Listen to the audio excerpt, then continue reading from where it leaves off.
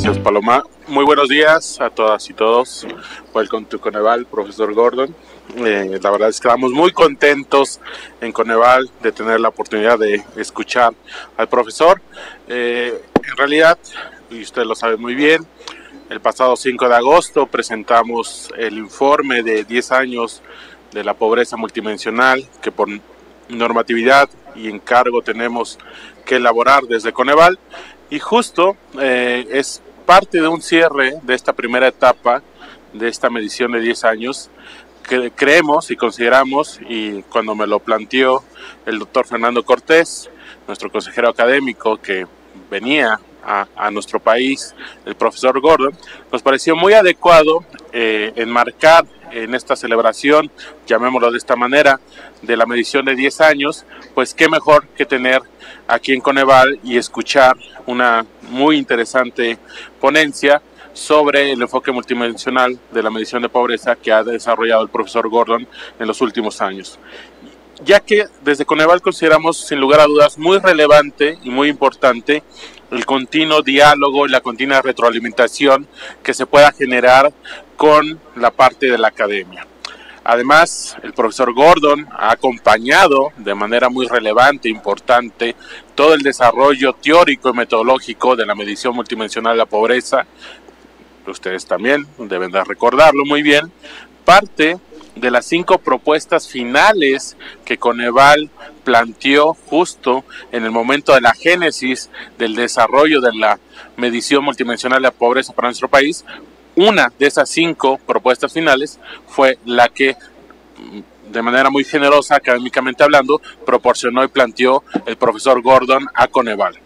Entonces, sin lugar a dudas, consideramos que parte, elementos relevantes de esa propuesta del profesor Gordon están en implícita y explícitamente en nuestra medición multidimensional de la pobreza que reitero pues ya tenemos 10 años de haber hecho de manera muy puntual, de manera muy sistemática, de manera muy coherente la publicación bianual de estos resultados. Entonces a partir de ahí consideramos que evidentemente hay retos, hay eh, todavía ventanas de oportunidad para tener un mayor enriquecimiento del análisis de esta medición multidimensional que podemos desde Coneval ir eh, elaborando en las siguientes mediciones si bien ya tenemos una base muy sólida, teóricamente, metodológicamente y empíricamente muy fuerte en la medición multidimensional, evidentemente siempre hay áreas de oportunidad que podemos ir eh, retomando y obteniendo mayores y análisis muy enriquecedores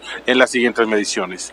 Eh, reitero la más cordial bienvenida, profesor Gordon. En realidad es un gran placer tenerlos con todos nosotros y estamos convencidos desde Coneval que va a ser una ponencia con una temática bastante interesante y que nos dejará muchas ideas para reflexionar en las siguientes semanas. Muchas gracias por estar aquí, eh, profesor Gordon. Gracias.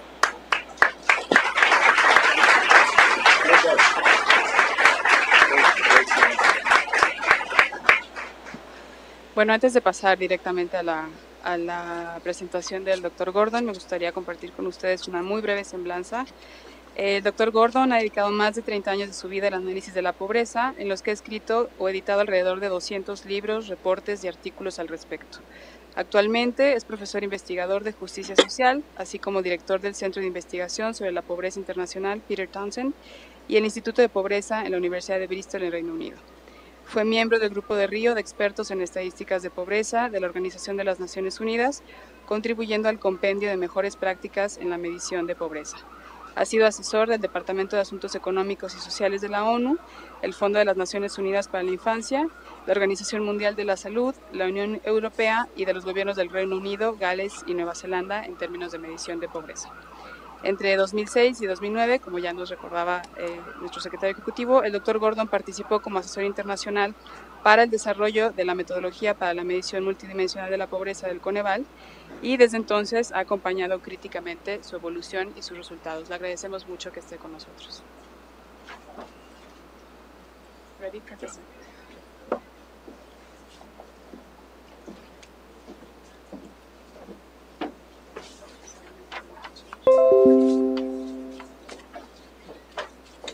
Buenos dias. Uh, I'm going to talk in English because my Spanish is too terrible to inflict upon you. Uh, yes, I feel greatly honoured to uh, be here and I'm amazed at the number of people who have come, so thank you very much. When I first uh, had the honour of working with Coneval, it was in a different building and maybe there were 20 or 30 staff. Look at you now, what a, what a success. Yeah? so I'm going to uh, talk about uh, 10 years of multidimensional poverty measurement in Mexico and some of the challenges and perspectives that brings. Uh, is this? Okay.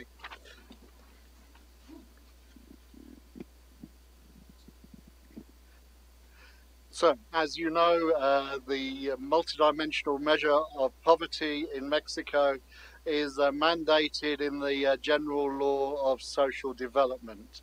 And uh, this has been amended over time, and so it now uh, has nine major indicators per capita income, uh, an education gap at household level, although in practice it's measured at the individual level, access to health services and social security, the characteristics of the dwellings, access to basic uh, services for the dwelling, water, sewerage, access to food, which has now been amended to be access to nutritious and good quality food, the level of social cohesion, and most recently access to paved roads.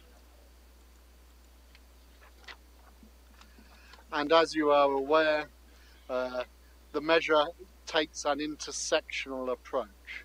So you are considered to be multidimensionally poor if your household income is below the uh, low income threshold and if you are deprived of one or more of your social and constitutional, social and economic rights as is written in the Constitution.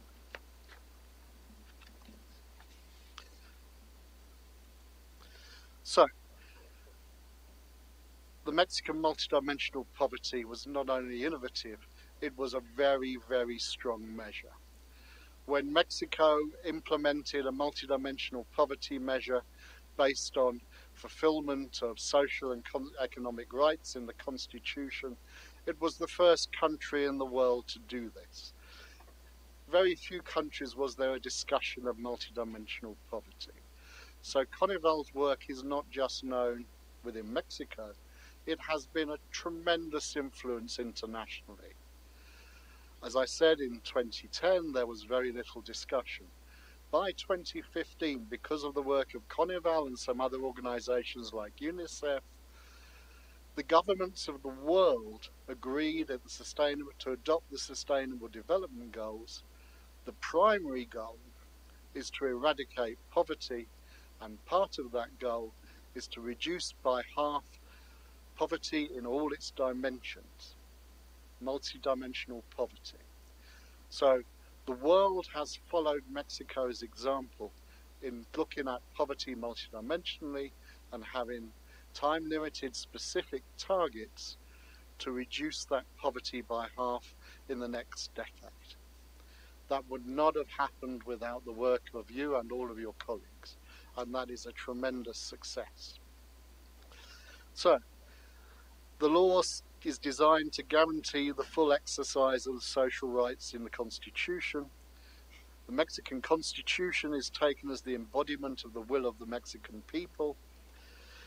There is a well established and detailed philosophy which demonstrates the links between human rights and people's needs. So that makes it a very strong and powerful measure.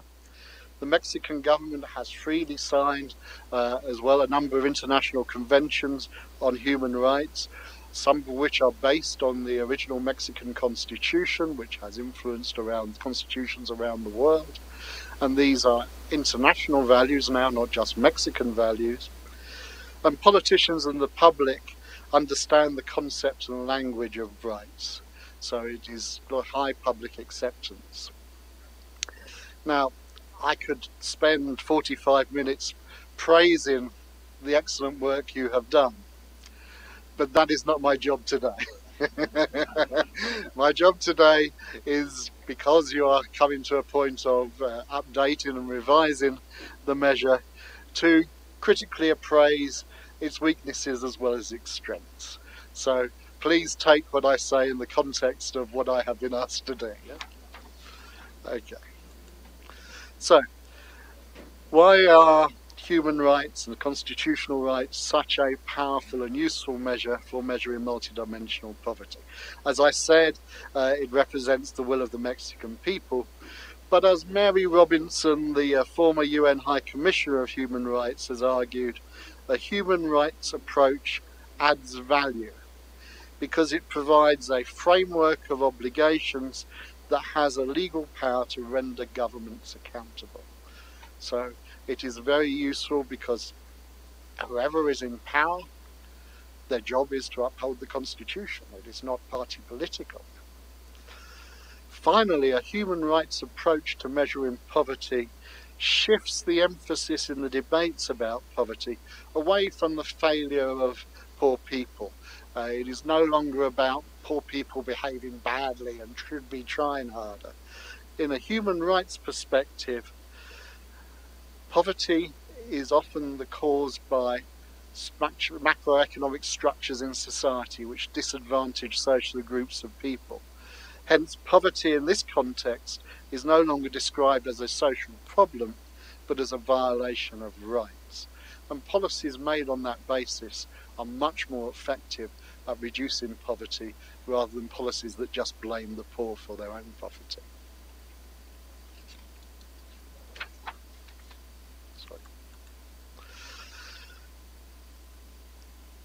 Additionally, the full package of human rights provides a lens through which poverty is seen as multidimensional, encompassing not only low income but other forms of deprivation or loss of dignity. So as a framework, it mandates really a measurement of multidimensional poverty from a theoretical basis. Okay, so uh, you know the different indicators that are in the uh, law. Uh, let me talk about some of the ideas I will elaborate on in this uh, uh, my, this discussion about some of the things I think uh, need to be could be improved upon and I will explain why I think they need to be improved upon. So the education indicator does not at the moment measure education quality. It's possible to complete basic education, not just in Mexico but anywhere, and still have literacy and numeracy difficulties. The real education gap is not necessarily about how many years a child went to school, but what they learnt when they went to school. It's between those who come out of school with no qualifications compared with those who come out with high qualifications. The access to health and social security are more or less the same indicator. They tend to measure very similar things. And the access to health service indicator does not really measure whether people are can actually get healthcare when they need it.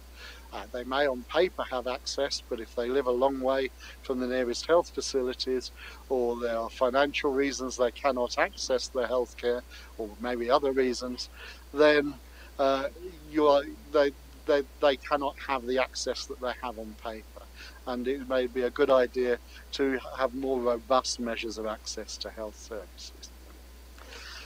The current thresholds of housing quality and housing services have become less reliable over time and do not really correspond the threshold values with the views of the Mexican population.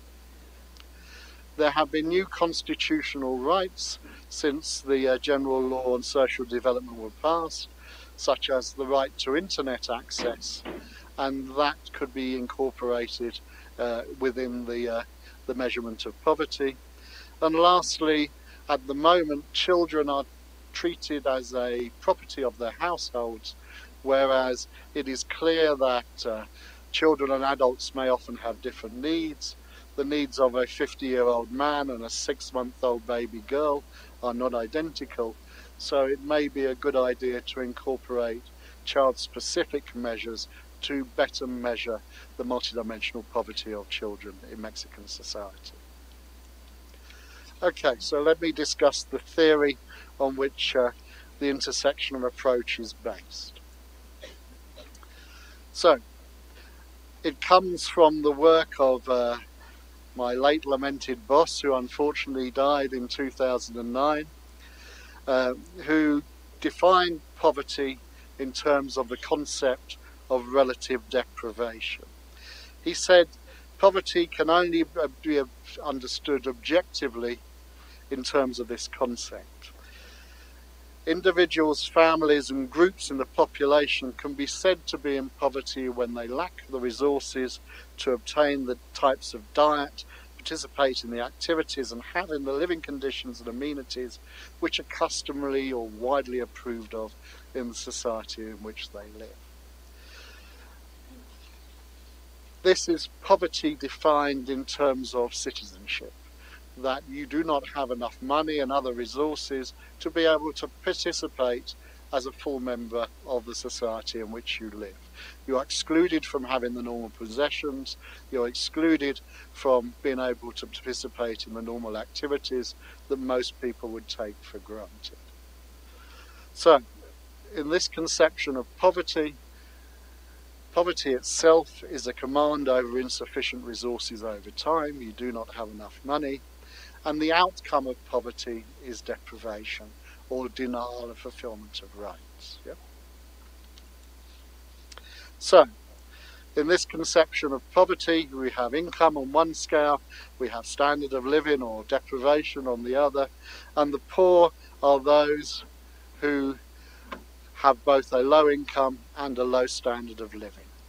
The not poor those who have a high income and a, a high standard of living and you can draw the uh, optimum poverty line at the point which maximizes the difference between these two groups and minimizes the difference between them. Oops.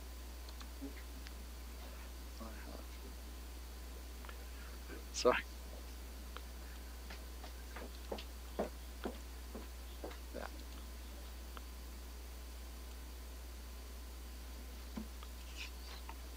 Okay, so the concept of poverty is not static, it's dynamic. So the theory is that individuals and families whose resources fall seriously short of those commanded by the average individual or family in the community of which they live are in poverty. So poverty is something that's uh, very unpleasant, so people try very hard to get out of it. So at one point in time, you may get a different measure of poverty than if you look at it longitudinally. So, here is a dynamic model of poverty. At the first time period zero, the person is not poor. They have a high income and a high standard of living. The way people often become poor is they have a catastrophic loss of income. They lose their job, they become sick and they can't work, their relationship breaks up, and their income falls. However, their standard of living doesn't fall immediately. They may have access to social security, they may have some wealth, they may have friends to draw upon. So you will get a group of people at time one who have a very low income, but their standard of living is still reasonably okay. If that income remains low for an extended period, their standard of living will eventually fall and they will be both low income and also suffer from deprivation. They will be multidimensionally poor.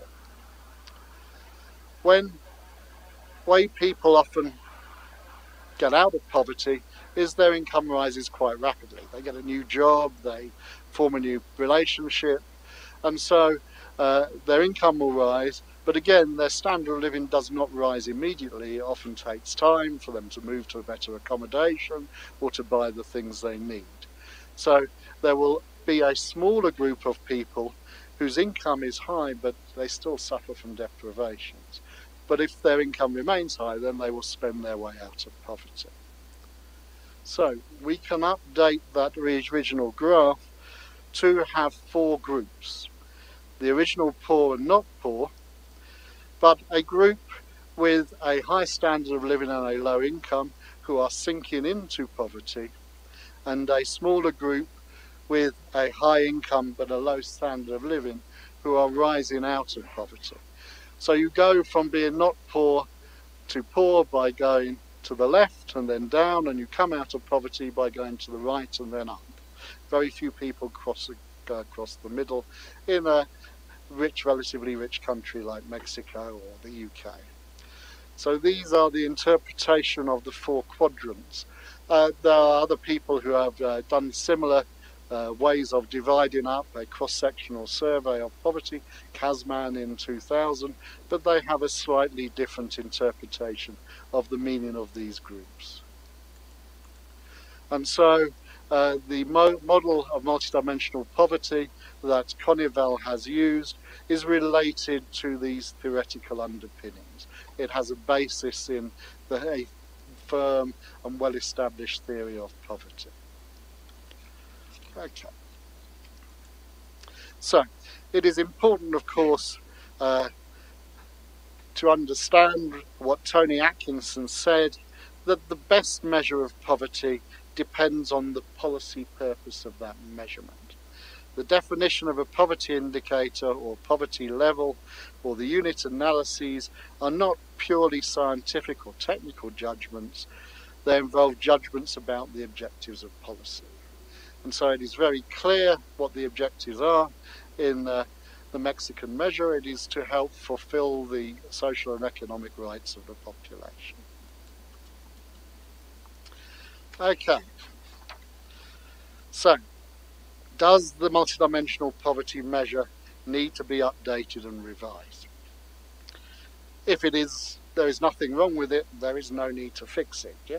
As the Americans would say, the US would say, if it ain't broke, don't fix it. Okay? So, the usefulness of a poverty measure or the measurement of any kind depends on three main factors. Whether it is suitable, are the indicators socially and culturally appropriate?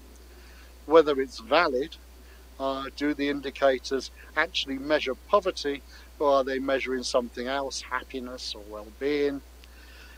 Another way of putting this in statistical terms is, does your measurement of poverty contain a large amount of systematic er error? So instead of measuring poverty, it misses its target because of this error. And lastly, it's very important that any measurement is reliable. Will you obtain the same results if you repeat the measurement?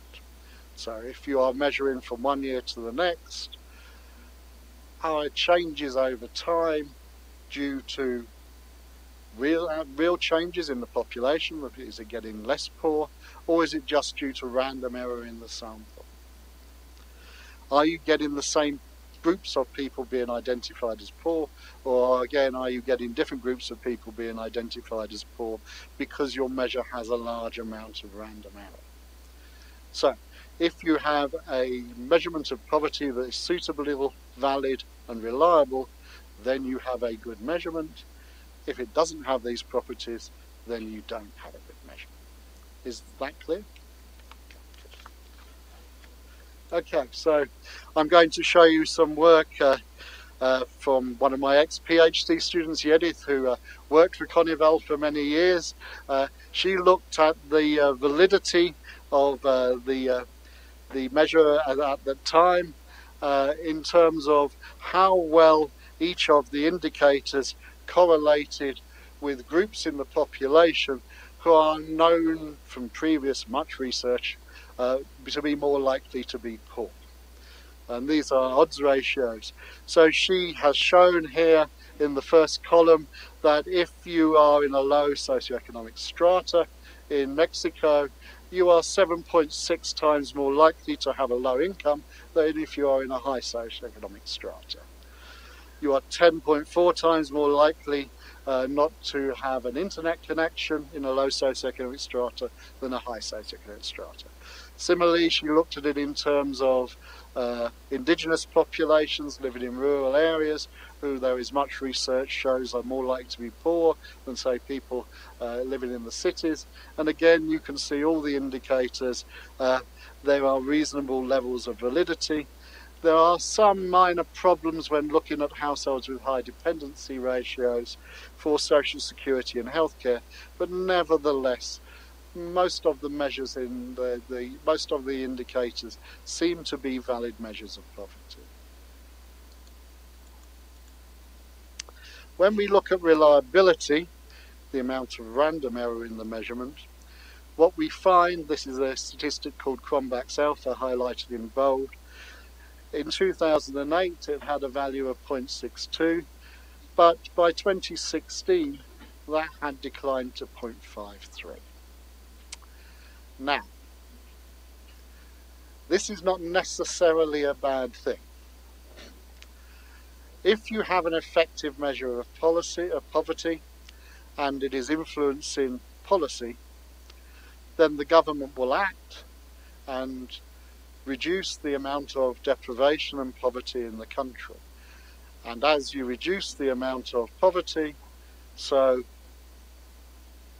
your measure becomes less reliable. It's a problem of success. It's also a problem, and it's predicted by relative deprivation theory, that as society changes, so measures which used to be good measures in the past become less effective. So in the UK, Charles Booth took data from the 1891 census uh, and he measured poverty in terms of how many people were overcrowded in, four more people to a room, whether they had access to toilets and running water. Those measures are no longer useful in the UK because society has changed and governments have acted and improved housing and therefore they are no longer reliable measures of poverty because they affect only a very small percentage of the population. But this gives a reason why it's necessary to update things over time because society evolves, things hopefully get better, and therefore your measure becomes less reliable. There's more error incorporated into your measure. Now, you can use statistical techniques to get very good estimates of the amount of random error in the multidimensional poverty measure and also to look at which parts of the measure are robust and which parts of the measure are not so good. So this is a structural model. Uh, poverty is considered a latent variable. A latent variable is just the statistical term for an idea. You cannot measure poverty directly. You can't take a ruler and measure how poor someone is. You can only measure it indirectly using indicators. Yeah?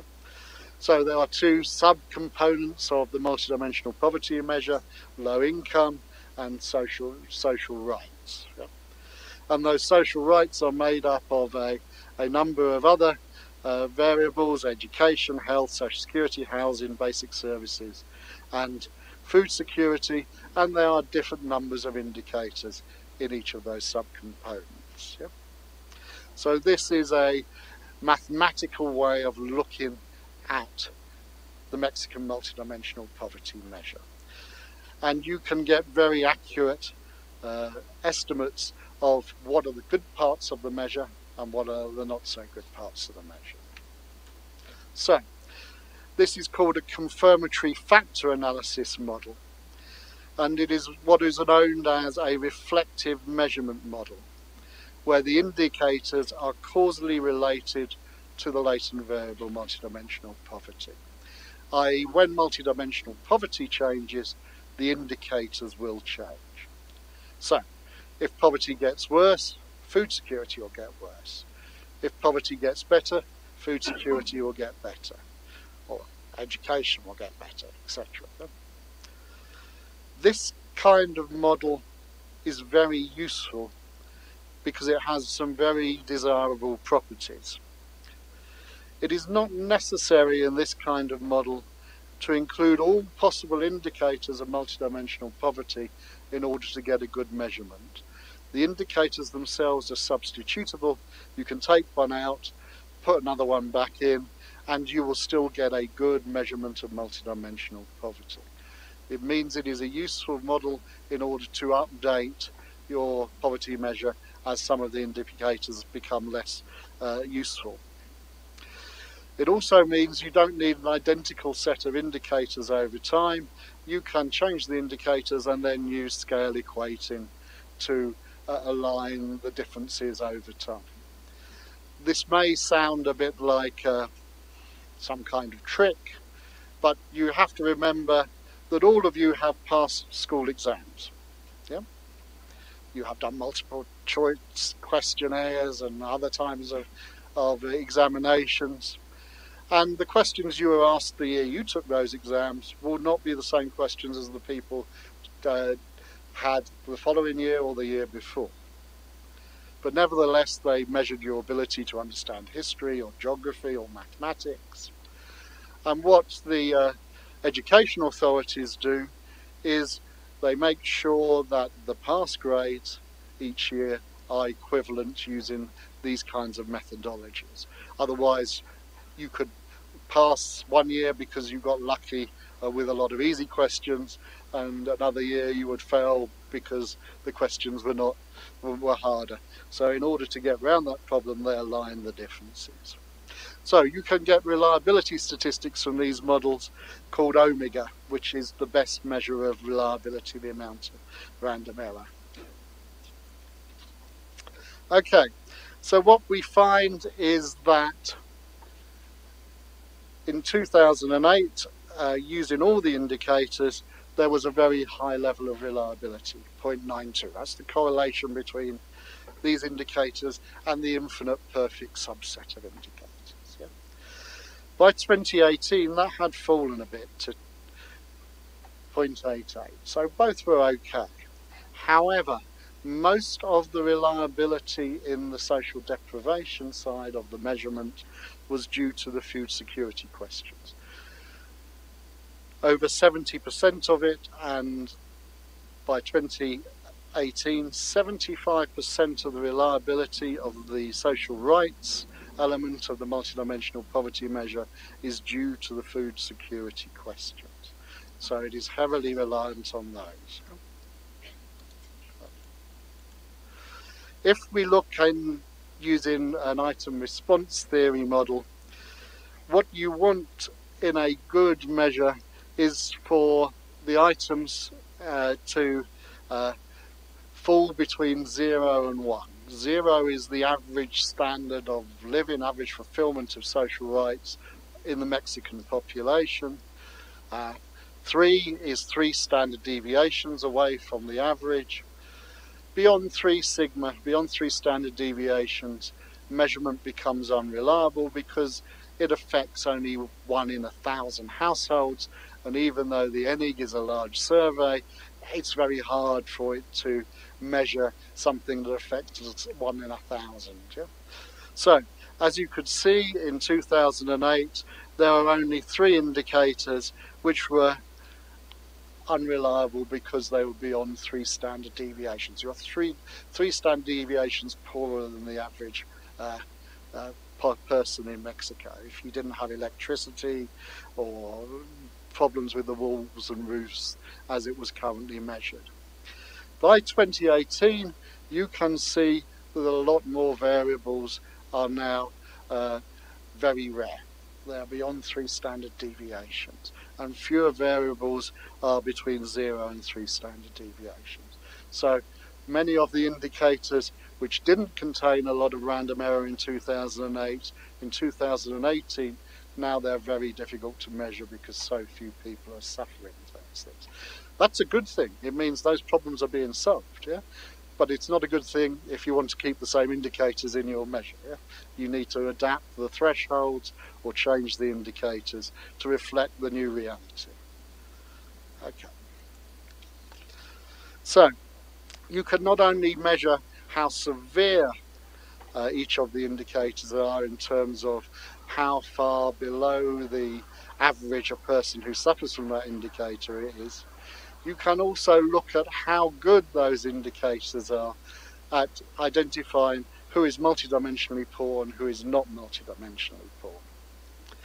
So what you want is a high discrimination to the right of the line. And in 2008, you can see uh, most of the indicators fell to the right of the vertical line. They were good at identifying who was poor and who wasn't. By 2018, virtually all the indicators that were good at discriminating the poor from the not poor were the food security measures. So many of the other indicators now have a, are not very discriminatory and they only affect a very few people. The reason they're not very discriminatory is because they are only affect, affecting a few people. I hope that's clear. Okay, so CONEVAL of course doesn't use all the indicators, it aggregates them into the six dimensions. And when you aggregate them into the six dimensions and just have the same score for each dimensions, the reliability falls was 0.75 in 2008 and falls to 0.68 in 2018 and that's below the critical threshold that's generally used in social sciences for reliable measure. So these omega analyses give a similar result to the Cronbach's alpha analyses I showed you from Yedith's work. This work is based on, uh, uh, again, one of my ex-PhD students, Hector Najera, who's very kindly run these analyses. Okay, so let's have a look at the threshold levels that were used for each indicator, because as you can see, some of them are now very unreliable. So, in social sciences, uh, we often consider deprivation to be a continuum. You can have no deprivation or extreme deprivation, and there's mild, moderate, severe thresholds. Rights are often thought of as binary, either a judge says you have your rights fulfilled or doesn't, but in a social science context, you can also think of rights as going for complete fulfillment to extreme violation of rights. And this is how you can relate fulfillment of rights with, with deprivation. So, the thresholds are set in the current multidimensional poverty measure using legal criteria, uh, legal norms if they exist, like the judicial threshold I showed you, or where they don't exist with consultation with specialists or by expert criteria uh, from public institutions. What isn't done is to set those thresholds by consulting the Mexican people. It's all set by experts. Sorry? Yeah, okay, so you can go. So, okay. As uh, you were saying, you consulted the Mexican people. Here's the results of that consultation in 2007. Uh, you can see that uh, for a large number of deprivation indicators, say have it, whether it's necessary for people to have a fridge, 94% uh, of the Mexican population thought this was a good indicator of deprivation. There is quite a strong agreement across society. Uh, if a man thinks something is necessary, a woman is also likely to think it's necessary. Even those who think they have enough money compared to those who don't think they don't have enough money, there is strong agreement on what are the necessary things. Although those who have enough money say everything is slightly more necessary than those who don't. But you can see the pattern is very similar. There is a consensus in the Mexican population about what are necessary things to have in order to live decently, uh, and that is, is cuts across society. However you divide it, young versus old, uh, low social class, high social class, men, women, rural, urban, you get very similar patterns. When you compare uh, what the population think with what the threshold values were set at, what you find is that the population has a much higher, more generous threshold. So uh, the population were asked in that 2007 survey, what is the minimum educational attainment that a person should have nowadays to live decently? the multidimensional poverty measure threshold was secondary level or less, but 90% of the Mexican population argued it would be higher. Similarly, when you look at uh, what are necessary flooring, walls and roofing materials in order to live decently, 80% of the population said you should have brick walls, but the threshold is set at wood or roofing boards. Yeah? Again, 80% said you needed solid concrete roof or uh, slabs on the roof, whereas uh, the threshold is set at uh, sheet metal or asbestos. Similarly, for drainage and water supply services to the dwelling, 98% says you need exclusive use of the toilet, 90% say you need pipe water in the dwelling, 94% said you need water supply every day, and 84% you need water supply for 24 hours. But only one indicator is used, which is pipe water into the plot. So for many of these housing services, the thresholds that have been set by expert consultation are much lower than the views of the Mexican population. They're not necessarily socially realistic. If you adopt socially realistic thresholds, then uh, you can see the changes in the percentage who are deprived uh, using the Coneval uh, uh thresholds in the measure compared to this consensual approach of taking what the, popula- the majority of the population think should be necessary to live decently. And you can see there are some percentage changes. Uh, access to information, access to the internet has been added because that was a new constitutional right which wasn't there at the time. But you can see it does not make a huge difference, but it would probably make for much more reliable measures if you use that for the update. So, uh, Hector Najera in his PhD looked at uh, measuring multidimensional poverty in Mexico for young people and he made a number of recommendations on uh, what could be done in order to improve uh, the methodology. He said you should use a minimum social protection floor measure.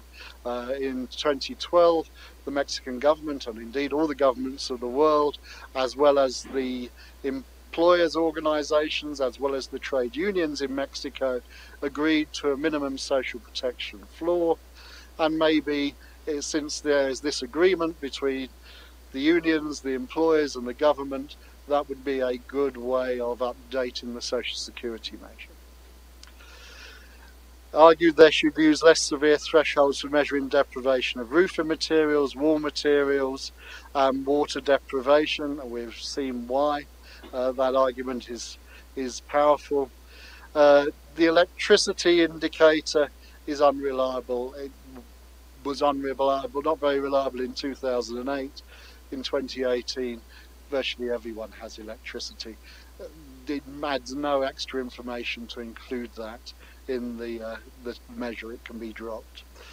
And use less for severe thresholds for food deprivation. Okay, so I'll come to my conclusions.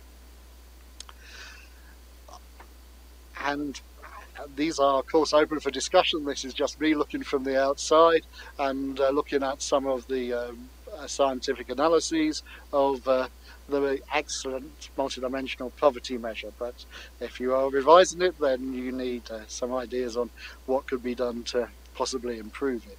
So I think you should develop an improved measure of education deprivation which incorporates indicators of the quality of education, not just how many years children go to school, but what they learn.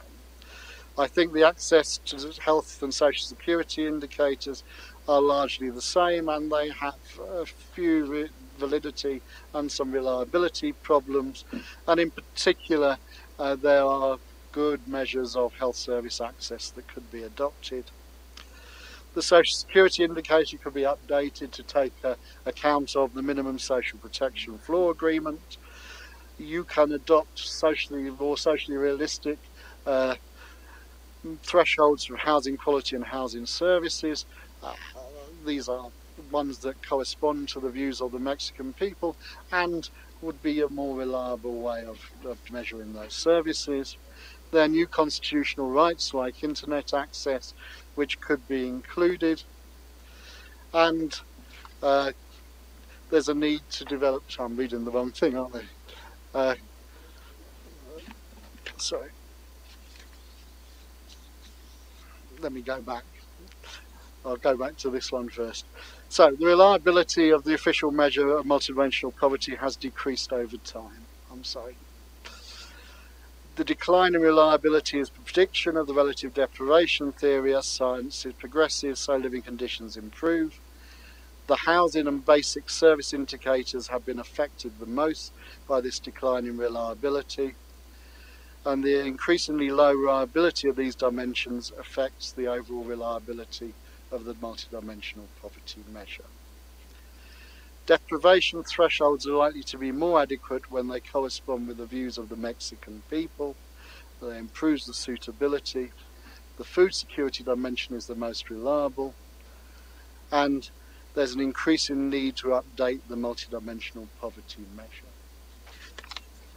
And so if I go on to the last one, which I was discussing just now, the way I think these challenges can be met, as I said, is to develop improved measures of education, to include new constitutional rights, as I said, and develop child-specific indicators to better reflect the needs of children and adults. Okay, time is up, so I'll leave it there. Thank you very much for your attention.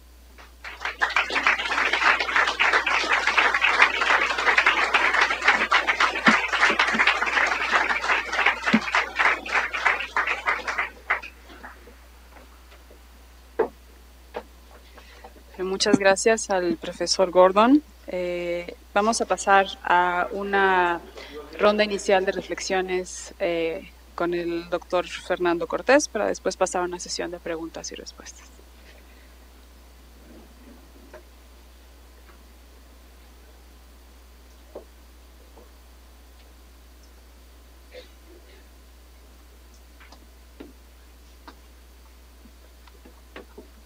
Gracias, eh, buenas tardes. Voy a hablar en español porque ya le pasé a Dave el texto en inglés, de manera tal que él ya conoce lo que voy a decir. Bueno, antes que nada, agradezco la oportunidad que me da el Coneval y las personas de su secretario general, el doctor José Nabor, y el DGA de pobreza que se me escapó Ricardo Aparicio, de moderar los intercambios de puntos de vista que, se, que suscitará a raíz de las ideas que nos acaba de presentar el doctor Gordon. Pero antes de iniciar la sesión de preguntas y respuestas, voy a tomarme la libertad de desarrollar un par de, de ideas que emergen de la presentación.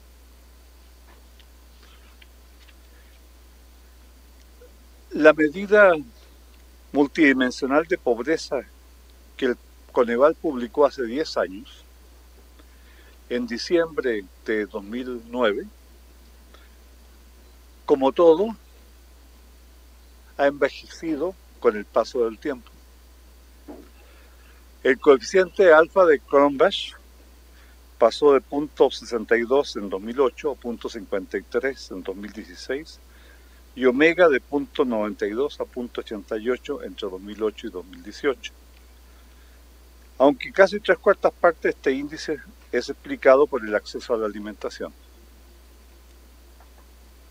El envejecimiento se explica no solo porque las canastas alimentarias y no alimentarias cambian con el tiempo, sino también debido a que la propia política social tiende a reducir la varianza de algunas variables, como sería el caso, por ejemplo, del piso de tierra y la electricidad, como se vio en la presentación.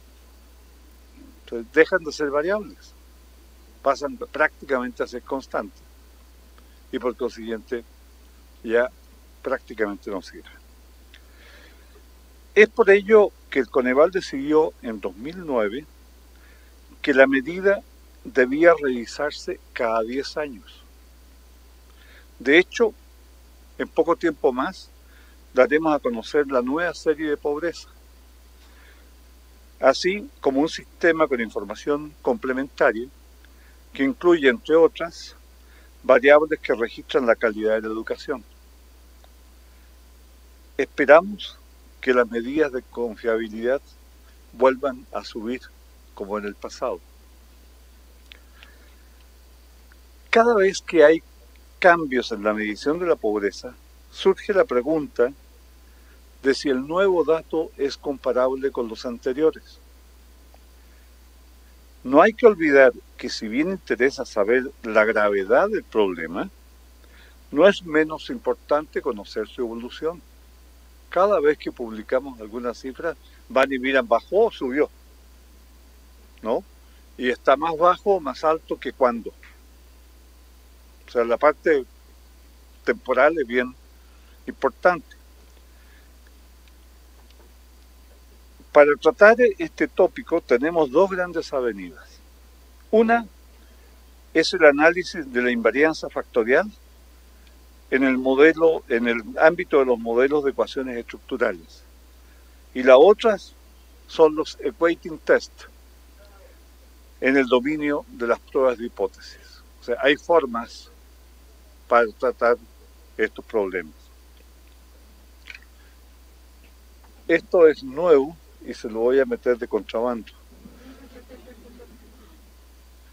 Creo que el aporte que está haciendo Bristol, liderado por Dave, es traer al campo de la medición los avances que ha tenido la teoría de la medición, cuyos orígenes se remontan que fines del siglo XIX, comienzo del siglo XX, y que fueron muy desarrollados por los psicólogos sociales por ahí por los años 20, cuando empezaron a preocuparse por problemas que no podían observar directamente, sino que las manifestaciones psicológicas de los problemas psicológicos que los individuos tenían.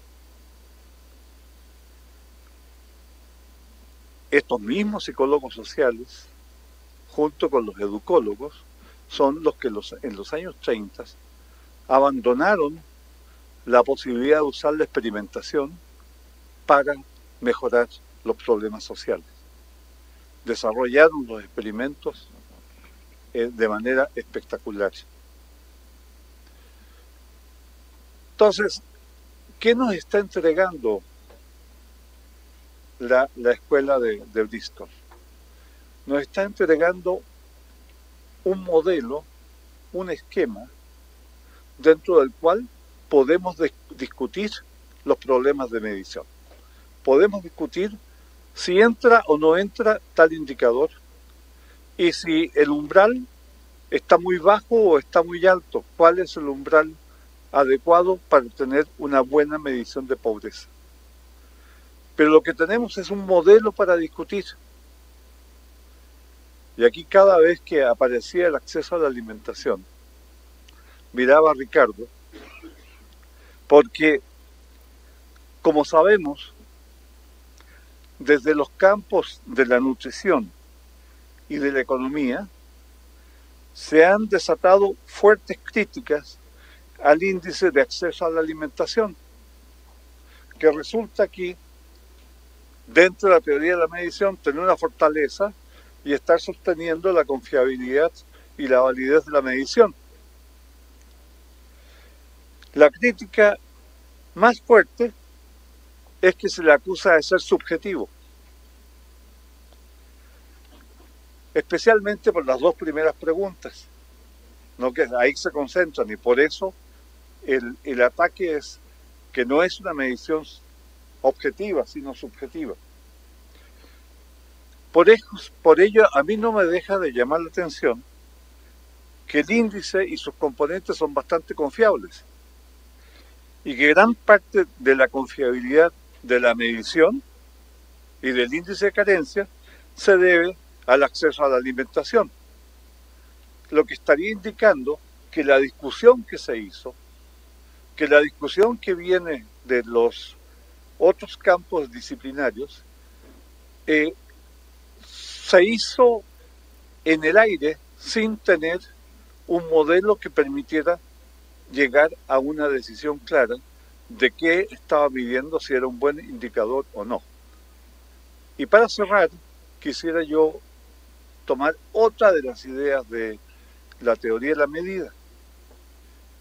La teoría de la medición lo que nos dice, o, como está planteado, es que un concepto inobservable o una variable latente, como se llama en estadística, puede dar origen a infinitas, a infinitos indicadores. Son todos indicadores del mismo concepto. Y uno puede tomar muestras aleatorias de esos indicadores y los indicadores pueden ser todos distintos, el conjunto de indicadores seleccionados puede ser distintos, pero todos están apuntando exactamente al mismo concepto.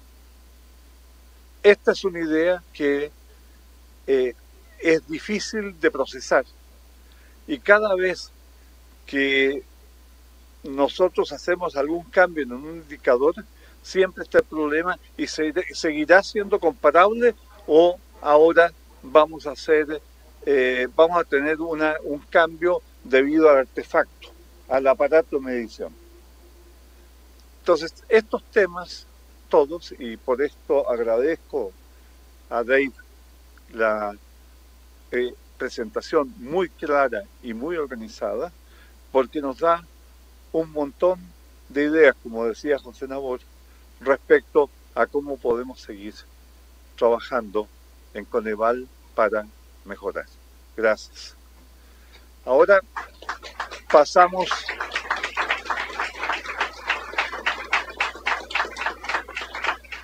a la sesión de preguntas y respuestas donde yo tendré que moderar. Entonces, eh, por favor.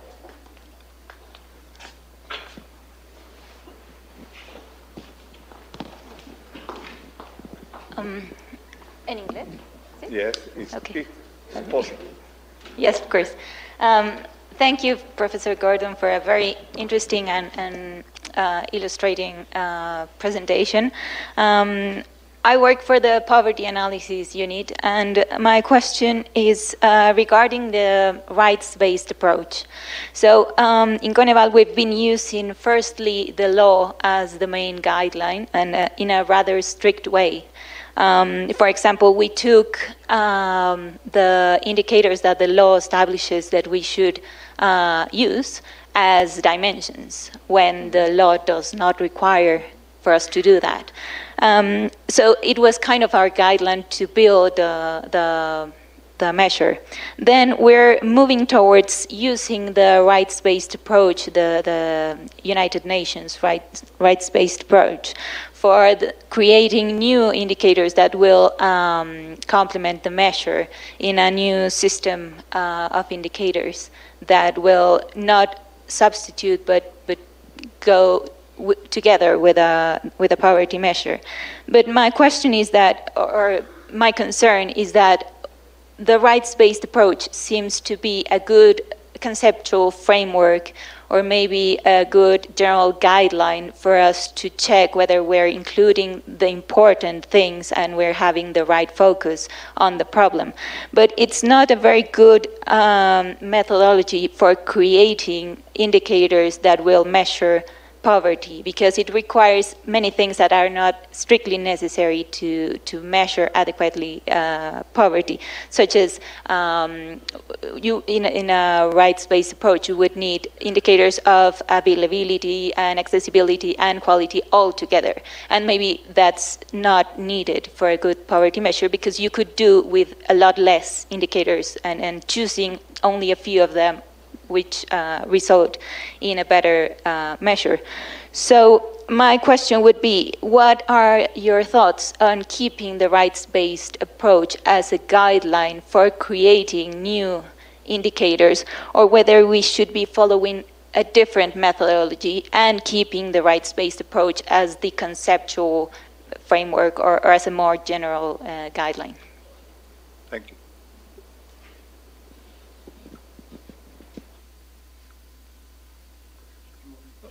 Eh, tomamos. eh, What?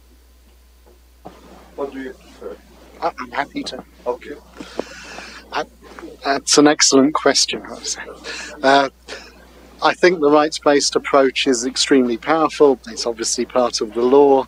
Uh, it's easily understood by the population and by, more importantly, by policymakers. Um, so I think it's very important to keep a rights based approach. Uh, but you don't need to measure everything. Uh, as I showed you, uh, many of the indicators are substitutable if you're using a rights-based approach to measure poverty. So you need indicators which give, which are sufficient to give you a valid and reliable measure of poverty, i.e., to contain a, a minimum amount of error, so that uh, when you say uh, 30% of the population are poor, it's plus or minus 3%, not plus or minus 40%. Yeah? So it's obviously better to have now lower errors than higher errors. Uh, you can incorporate different indicators to improve the reliability because as I showed you it's been declining over time. You can include new rights eh, as they become included in the constitution. Um, you don't need to measure everything in order to have a good measurement of poverty. One of the major advances of, in statistics uh, in the 20th century was the proof that you don't have to measure the infinite set of poverty indicators in order to get a reliable and valid measure of poverty. You just have to have a sufficient set of indicators. So I think that you should keep the rights-based approach. I think the measure needs updating uh, with some new indicators or indicators with different thresholds. Uh, but I think it's a very powerful and very attractive framework to have a rights-based approach uh, for the whole set of reasons I gave previously in my talk. Thank you very much. ¿Alguien más? Yedit. Ah, y luego.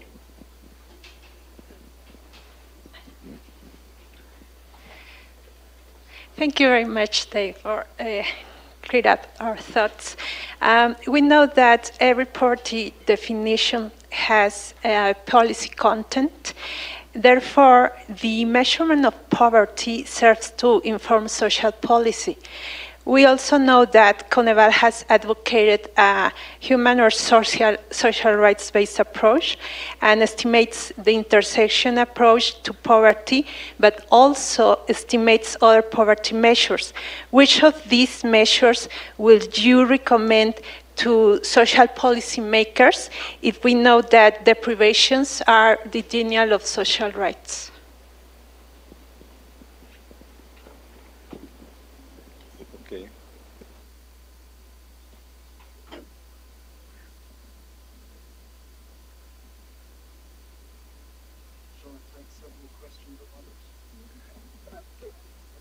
So again, thank you, Edith. That's an excellent question. But So I, I phrase my questions now. yes. Thank you very much, Doctor, by your presentation. Very interesting, very reflexive for me.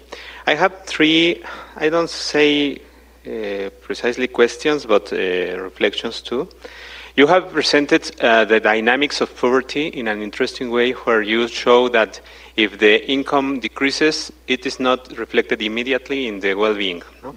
But here in the um, indicators of the measurement of, of Mexican uh, multidimensional poverty measurement, we have structural and we have conjunctural, conjunctural uh, indicators. We have the indicators that can change uh, immediately, but some of them will not change, never. For instance, no, we have, for example, the education level. When you reach uh, six, nine, ten years of education, that uh, will not be uh, lost. So these type of indicators uh, will not uh, be reflected in the in this uh, dynamics. No, so what you recommend about that? Maybe you should divide the indicators between those that are not structural. The second question is related to the human rights approach. Um, I believe that um, we need also to incorporate uh, another question uh, related with how uh, much, uh, how many uh, deprivations you have to consider to be poor in the uh, human rights approach, because the human rights approach defines uh, some principles, and one of them is uh, the, the fact that the, the, the rights are not, uh, cannot be divided. No? So for from my point of view, if you use that uh, approach, you must define the threshold in a, a zero-based, no, zero-based, or, or, you have a deprivation, so you are not uh, in a state of guarantee of all the rights, or you have at least one, no.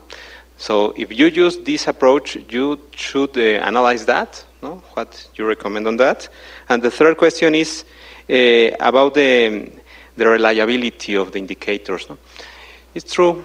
Uh, when you analyze, for example, the access to electricity, the electricity is almost universal, so that indicator does not is not useful for this. No, but the people who does not have this electricity is a very important uh, target.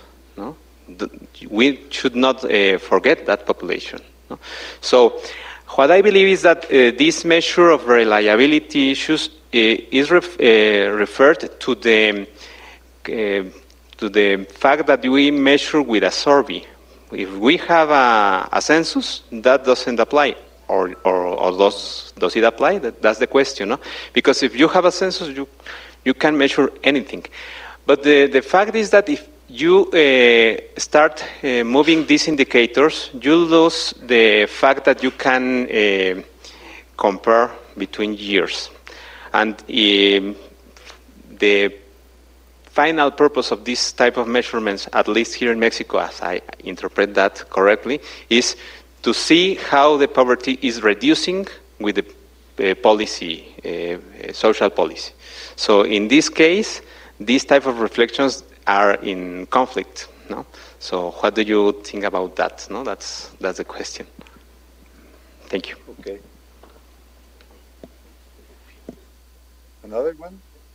Yeah.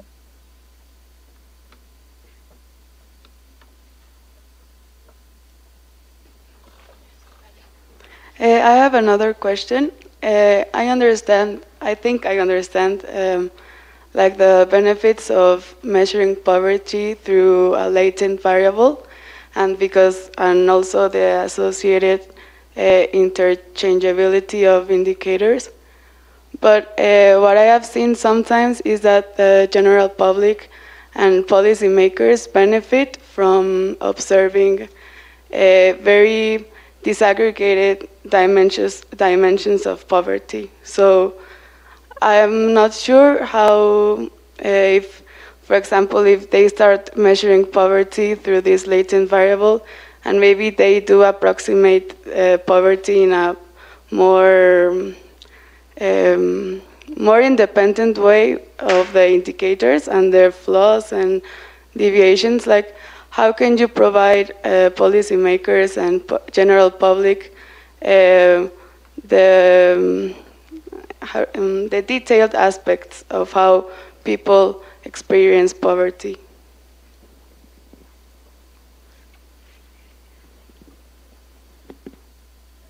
Okay. There are some really good questions. Uh, the first one, Yedith asked about uh, what advice I would give to policymakers. As I said, I think the constitutional framework is really important. Uh, yeah, I couldn't give that advice to my own country because we don't have a constitution.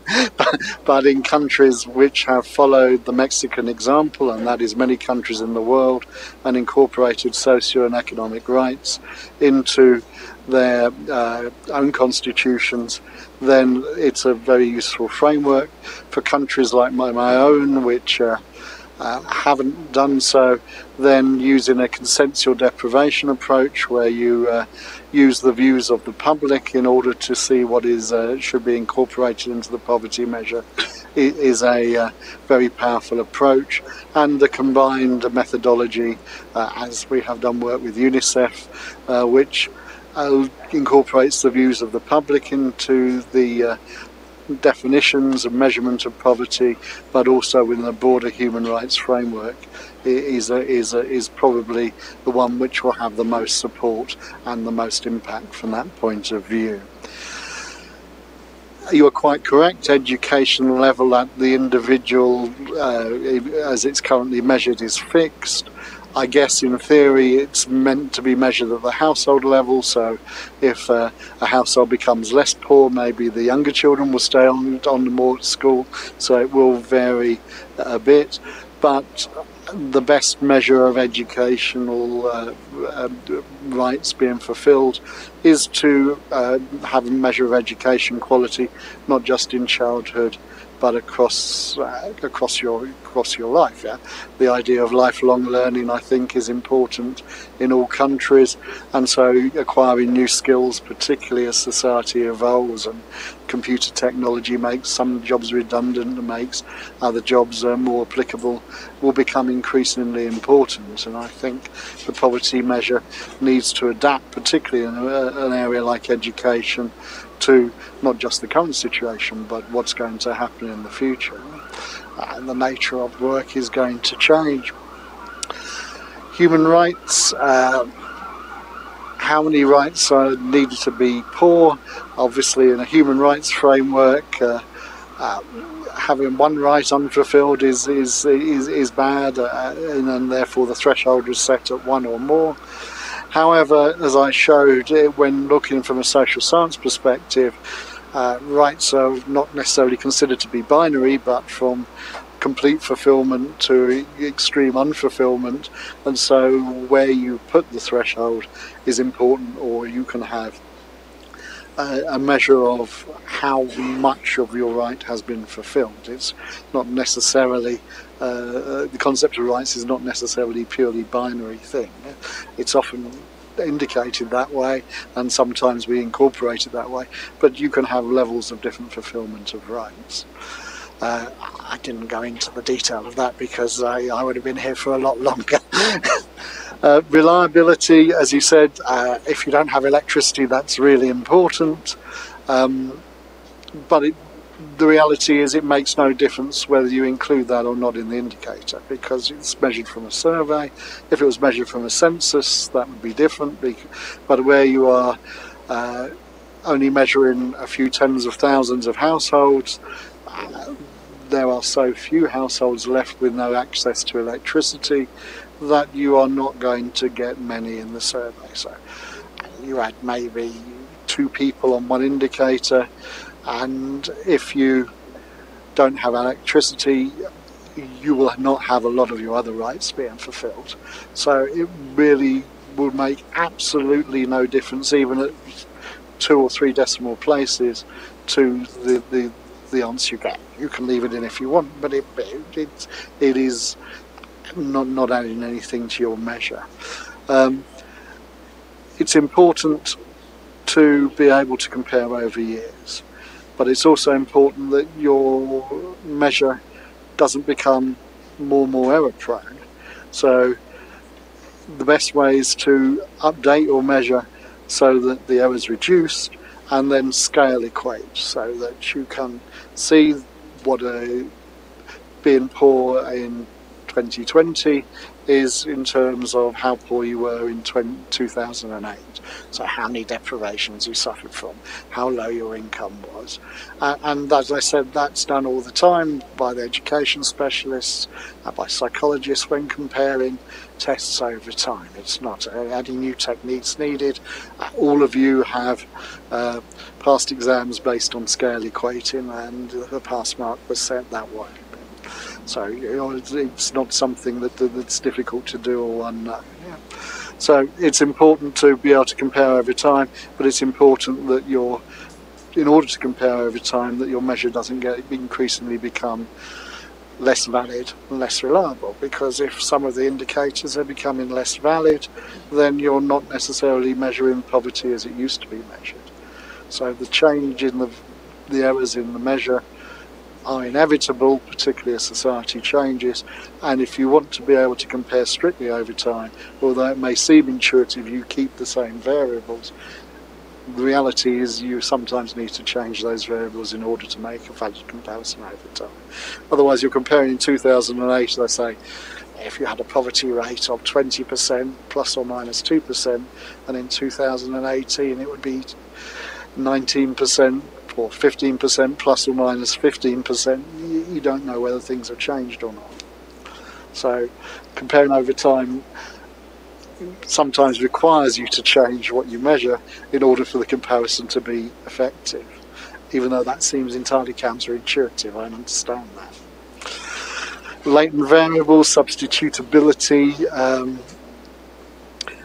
this, it's really important to be able to disaggregate dimensions.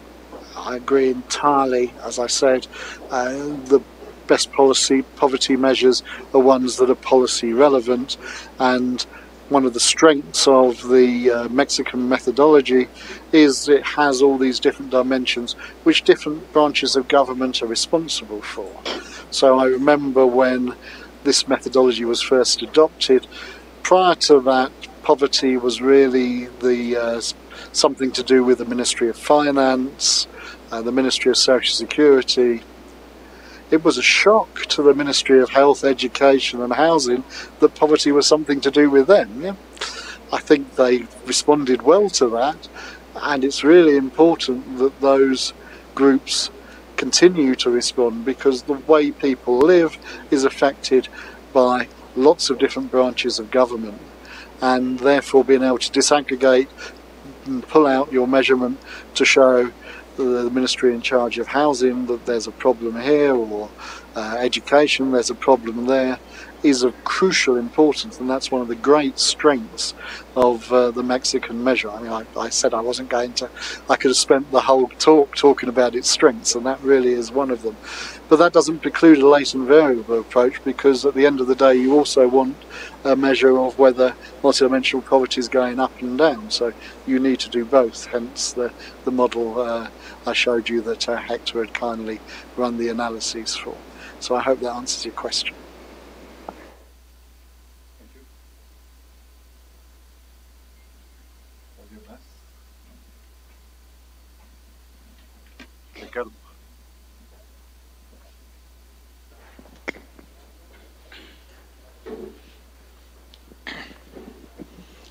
Eh, primero quisiera mencionar que todo el marco conceptual de la visión de pobreza que David nos presentó está plasmado en su capítulo del libro sobre metodología de medición multidimensional de la pobreza que editó el Coneval junto con el Colegio de México. Ahí se puede consultar y es, el, es muy sólido, muy, muy, fuerte. Eh, I, I would like to mention Dave, some issues. First, that uh, there are a number of institutional issues, not just methodological, technical issues. When you want the poverty measurement to be used for uh, influencing decision making. And I think that is important and to be used. Uh, uh, of course, there are a number of methodological and technical issues that you have pointed out and that we greatly acknowledge as usual. as it has always been when we participate in this uh, work with Coneval. Um, and but I, I, I, would like to mention something about the feasibility of the measures. Uh, because when we made a criticism of the Mexican measurement, uh, we often uh, forget that the, one of the strengths of the Mexican poverty measurement is to have it at the municipality level. That allows a very powerful tool for uh, guiding policy. But it also implies a number of restrictions on data availability. And uh, I would like to know your reflections on this because uh, since we have to use the census data and the, the number of the questions in the census is 30 questions and 75 questions on the survey of the census. Then we have not been able to include and to incorporate some of the measures that we have at the survey, but that we do not have included into our measurement, not because they are not in the survey, but because they are not on the census.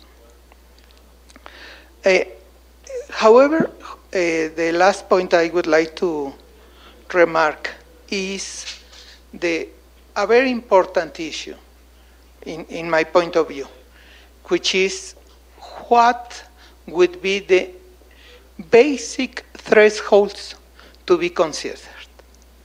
We have used our legal norms based on the laws. We have talked about with the uh, people who work at the National Household Housing Commission, for example. But we can see clearly from our threshold surveys that these thresholds are quite low and not only quite low, but increasingly less reliable. Uh, and then, how can we change our thresholds since it becomes, of course, an institutional and political issue? I think that we can do it, and I think the Coneval is uh, compelled to discuss and to do this. And we have a window time for five years to complete this. but it's not an easy task, I, I, I, I think. And um, finally, uh, I would like to thank you very much and to invite you and all our colleagues because at Coneval, the Dr. Cruz and our academic investigators have commanded us to start on a new discussion issues which we will be working on on the following years in order to get a better, not just a better uh, measure of poverty, but a better measurement of social rights of those issues which cannot be incorporated in our measurement of poverty.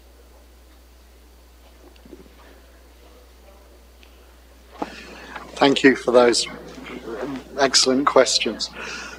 I completely agree with you. Measuring poverty should never just be an academic exercise. Its main purpose is to influence decision making in order to effectively eradicate poverty. If Coneval is successful, you will need to find other jobs because there will be no more poverty. and that would be a good thing. You would all be happy, I hope. so, uh, the visibility of the measures is crucial. The public acceptability and political acceptability of the measures is crucial. and also being able to disaggregate down to municipal level is also extremely important because decision making isn't just made at national federal level it's also made at local level. And local level decision making and not just policy but practice at local level can have huge impacts on people's lives. Uh, as you say, the census is always going to be restricted to a few questions, and therefore you're always going to have to do some modelling from the survey data and incorporate the information in the survey data with the census data. When you first tried to do this uh, 10 years ago, um, there was a lot of academic research, but not very much practice. But over the past decade, there has been tremendous advances in small area estimation methods, uh, empirical Bayesian and uh, prediction methods, uh, there's also been improvements in geographically weighted regression, which allow you to take information you have at higher levels and extrapolate them down to district levels. So, along with the advances in computer uh, speeds, it's now easier to do robust measurement at small area level. But in order to do that, you need to have a measure of multidimensional poverty which has low errors. If you have a lot of error in your measure of poverty, you are not going to get a good model at small municipal level. So in order to get good estimates at municipal level which will influence policy because they're believed, you need to reduce the error in in the survey measure. Uh, and that's of crucial importance. So the, the two are not antagonistic, they're complementary. Now, I am. It's easy for me. I'm an academic from another country to say you should do this. I have no responsibility. I'm busy. Of course, I understand the, the, the constraints you work upon in order to, when setting thresholds, that these are enshrined in laws in different ministries and professional bodies. But nevertheless, as I said, if they're causing a lot of error in the measurement, if the population don't believe that these are these these if they think the thresholds are too severe, then it becomes less acceptable to both the public and policymakers. So it's a debate you will have to have with your colleagues in other parts of, uh, the government. Uh, I hope you win that debate. it's easy for me to say. Thank you.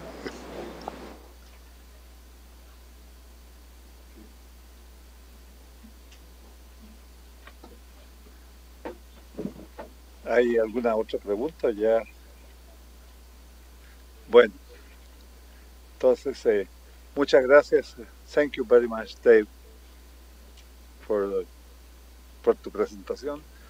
Muchas gracias a ustedes por eh, haber eh, venido. Espero que esta plática les motive a mejorar nuestra medida dentro de los límites que planteó muy claramente Ricardo. Es decir, un, un eh, mundo es el de la academia, otro mundo es el de la política y como ustedes saben, nuestra medición es ley. Entonces, eh, tenemos que hacer lo mejor que podamos dentro de las restricciones legales que tenemos. Muchas gracias. Buenas tardes.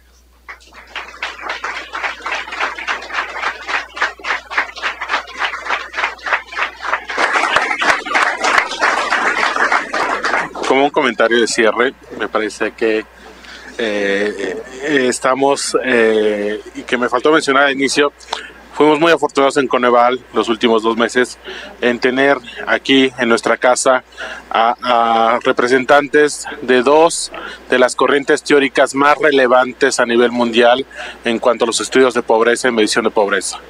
Lo recordaron muy bien, hace un par de meses tuvimos la escuela de verano de OFI con los doctores Foster y Sabina Alquir. El día de hoy teníamos al profesor Gordon y me parece que justo la provocación, yo lo diría en esos términos, la provocación que nos pone sobre la mesa el profesor Gordon nos dará pie sin lugar a dudas a retomar la, la, discusión un tanto teórica. Eh, creo que Fernando lo focalizó muy bien en cuanto a son variables, componentes de los indicadores que se han tornado un tanto constantes y que eso ha afectado la parte de la variabilidad del propio indicador. Es una discusión técnica estadística, evidentemente, pero también creo que parte de las intervenciones de, los colegas hablaban sobre, pues al final del día, este tipo de cuestiones técnicas no nos deben de quitar nosotros, desde Coneval, como eh, el ente gubernamental autónomo que exhibe de manera oficial los indicadores de pobreza, me parece que lo tenemos claro. Son personas, son agentes que de alguna manera no están teniendo la efectividad de sus derechos humanos, de sus derechos sociales en cuanto a las carencias de la vivienda y la caracterización de la propia vivienda, pero evidentemente me parece que en esta parte de está la academia, las discusiones académicas, y está la parte de los políticos y de los asociados de política pública, de alguna manera Coneval está en medio de esa discusión estamos en medio y evidentemente una de las tareas y que en parte ya lo mencionaba también Fernando y también Ricardo, me parece y yo estoy convencido que la plataforma de indicadores de derechos sociales con énfasis de derechos humanos que muy próximamente daremos a conocer desde Coneval, no solamente va a constituir un complemento a la medición multidimensional, sino me parece que el, el, reto de consolidar de manera estatal y nacional una serie de 45 indicadores con este enfoque, sin lugar a dudas, no solamente nos dará luz de manera interna de cuáles podrán ser las siguientes líneas de investigación en cuanto al mejoramiento o a la actualización de la propia medición oficial multidimensional, sino que también me parece que nos pondrá nuevamente en la vanguardia a nivel nacional y a nivel internacional de la presentación de esta plataforma de indicadores de derechos sociales. Eh, concluyo nuevamente agradeciendo mucho al profesor David Gordon estar aquí. Muchísimas gracias. También a Fernando por las gestiones para que el profesor nos pudiera visitar. Y me parece que sin lugar a dudas, también el área de pobreza, la Paloma también la parte de organización. Y bueno, creo, estoy convencido que tendremos muchas reflexiones, muchas horas de discusión a partir de esta muy interesante provocación que nos dejó el profesor Gordon el día de hoy. Muchas gracias. Thank you so much.